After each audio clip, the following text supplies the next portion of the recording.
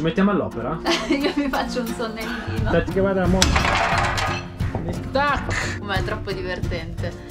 Siamo Carlo e Serena e dopo tanti viaggi in Africa e Asia, un trekking in Nepal ci ha cambiato la vita. Abbiamo deciso di lasciare i nostri lavori per realizzare un sogno, dall'Alaska all'Argentina in van. Abbiamo camperizzato un Fiat Ducato in Italia e spedito in Canada. Nell'agosto del 2019 è iniziato il nostro meraviglioso viaggio. Dopo due anni siamo arrivati a Panama e abbiamo deciso di prenderci una pausa, tornare in Italia e allestire un van più grande e confortevole che sarà la nostra nuova casa su ruote.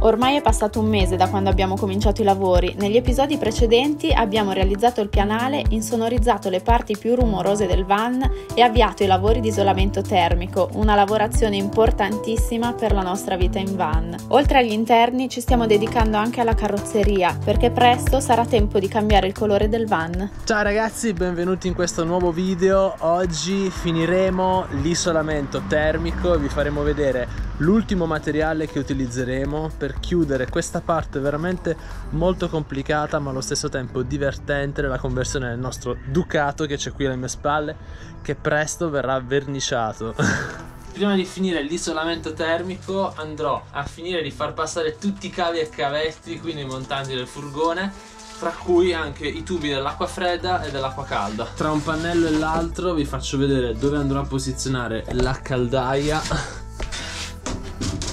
che sarà praticamente in questa posizione qui vicino alla pompa dell'acqua e dove poi qua ci sarà il lavandino. Andrò a installare i tubi. Da questo punto tac li farò arrivare dall'altra parte per andare in bagno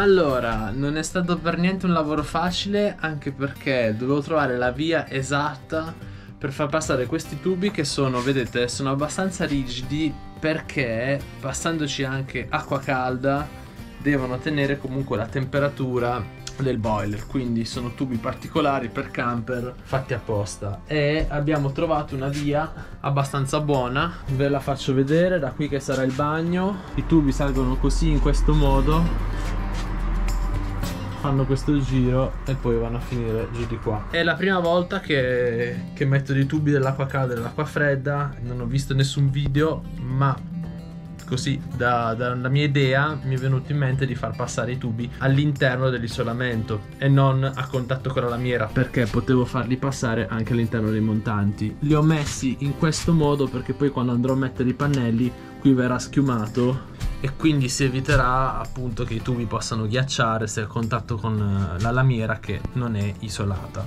Qui terminano i tubi dell'acqua calda e dell'acqua fredda che evidentemente saranno attaccati al boiler qui e qui ci sarà la pompa e da lì ci sarà l'uscita per la doccia quindi qui ci sarà il miscelatore e la doccia dovrebbe essere qua Fatto tutto ciò, adesso possiamo continuare a realizzare l'isolamento termico, in particolare a completare il tetto, escluso ovviamente le zone dove poi andremo a montare gli oblò quando arriveranno. Per il tetto utilizzeremo degli XPS, pannelli di XPS che si usano anche nelle costruzioni da 2 cm questa volta. Quindi andiamo a sfruttare praticamente questo spazio che c'è tra i montanti, non so se si vede ecco che è giusto di 2 cm quindi andremo ad applicare il pannello proprio in questa zona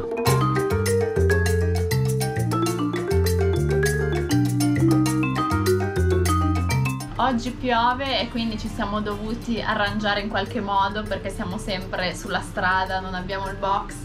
Carlo ha portato questa fantastica luce e poi lo scaldino del bagno che ci sta salvando dal freddo milanese di novembre, eccolo, eccolo qui. Lì in fondo.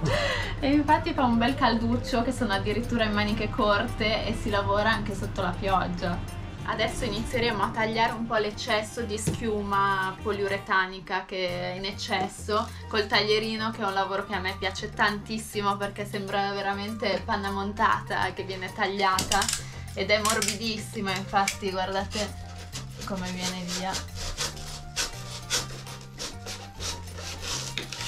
Vengono via proprio i pezzettoni di schiuma è troppo divertente. Così livelliamo un po' tutto e finiamo di mettere gli ultimi pannelli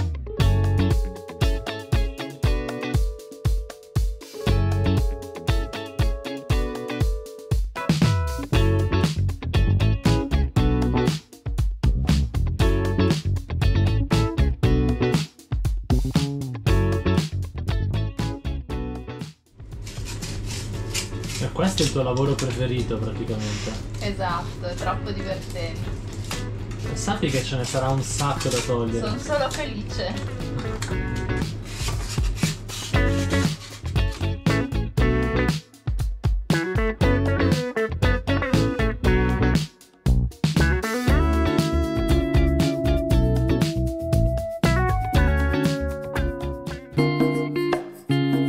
Vedete, qui ormai abbiamo ultimato tutto ciò che si poteva ultimare.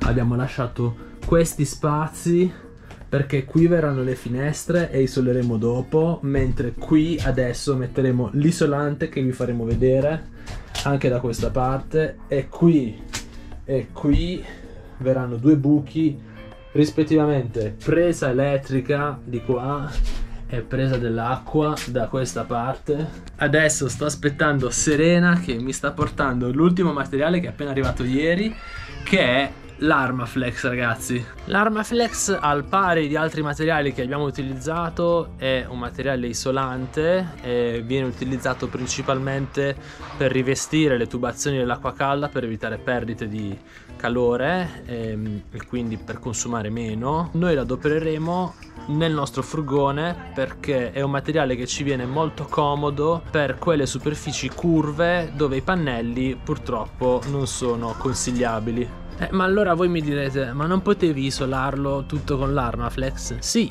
però costa di più. Infatti la differenza di prezzo che c'è tra questo materiale che è l'XPS è di circa 5 volte il materiale che andremo a mettere in questo punto.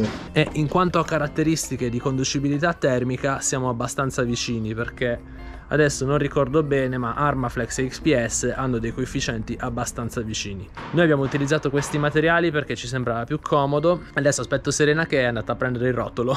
Ecco qua ragazzi, si comincia con l'Armaflex tappeto nero di Armflex. Prego, entri. ecco, si accomodi. Il black carpet di Milano. Ma è morbidissimo. Bello. Si può usare come materasso. Eh, abbiamo il letto anche. Però è veramente Comodo. morbido. Lo useremo per isolare bene i passaruote perché è una superficie curva e coi pannelli ovviamente non si riesce. Quindi useremo questo bellissimo materiale ed è la prima volta che lo prendiamo. È adesivo, quindi basta solo tagliare la forma che serve e incollarlo. E inoltre, come vi dicevo, lo utilizzeremo qui sulla testata e sulla piediera, se si chiama così, del letto. Perché ovviamente dobbiamo guadagnare centimetri per la mia altezza. Ci mettiamo all'opera? Io mi faccio un sonnellino. Te ti fai un sonnellino, vai, buonanotte. Poi c'è pure lo schienale qua. Eh sì, oh, ma lo puoi usare per fare gli esercizi.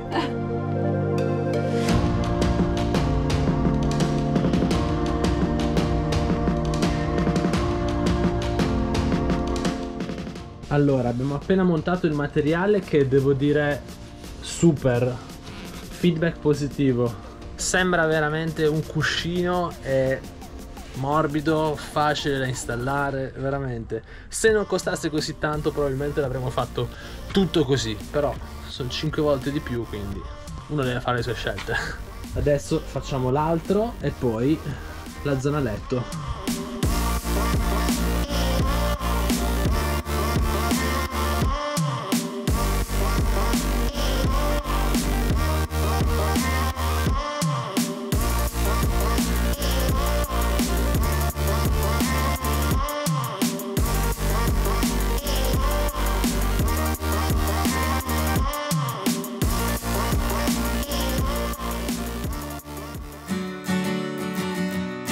Comunque siamo qui dal carrozziere che ci sta dando una mano a riparare quello che sarà la nostra casa su ruote.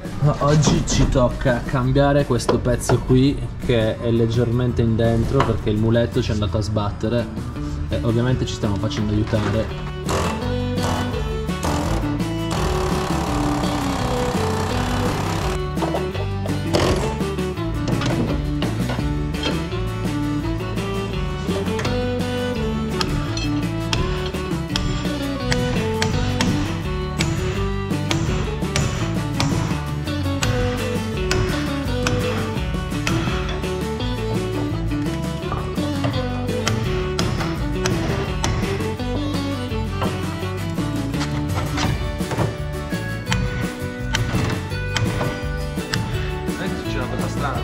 Che vada mo... Tac! Ecco, adesso stiamo mettendo il pezzo nuovo, che è questo qua. E si incastra bene perché Nelson ha fatto la magia. Se no qua c'era proprio da piangere. Che... Nelson, come si chiama questo attrezzo che stai usando? In carrozzeria lo chiamiamo tirapalle. Tirapalle! Adesso andiamo a saldare.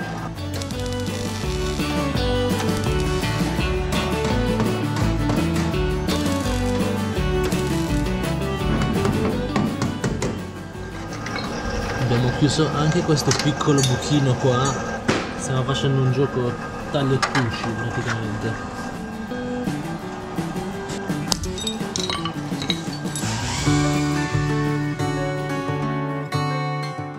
Allora, sono tornato dal carrozziere, adesso vi faccio vedere come è diventata la parte che c'è sotto il portellone. Ecco, vedete, è completamente nuova. Le abbiamo dato una mano di fondo, poi puliremo per bene tutto e riverniceremo.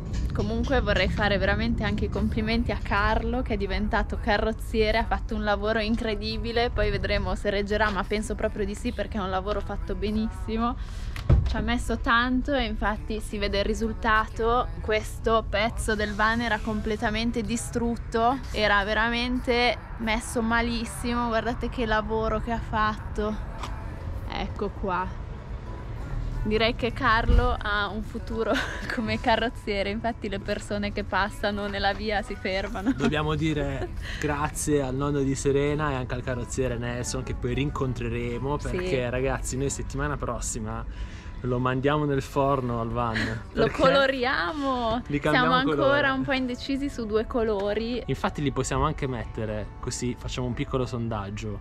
Diteci un po' se lo volete di questo colore qua oppure di quest'altro colore qua. Fateci sapere perché la vostra opinione è importante. Siamo un po' indecisi perché ci piaceva tantissimo il colore di prima, però vogliamo anche fare qualcosa di diverso, ci piacciono i cambiamenti, quindi vogliamo anche fare qualcosa di diverso. Intanto vi facciamo vedere l'isolamento abbastanza finito Quasi direi. terminato. Sì, sì, sì, è finito. Allora, abbiamo fatto veramente un mix di isolamenti diversi. Abbiamo fatto le pareti laterali, pannelli da 4 cm, il soffitto 2 cm, un po' di Armaflex sui lati per non perdere troppo spazio perché lì ci va il letto. Schiuma dappertutto, come potete vedere, che è il nostro cavallo di battaglia, c'è un po' dappertutto.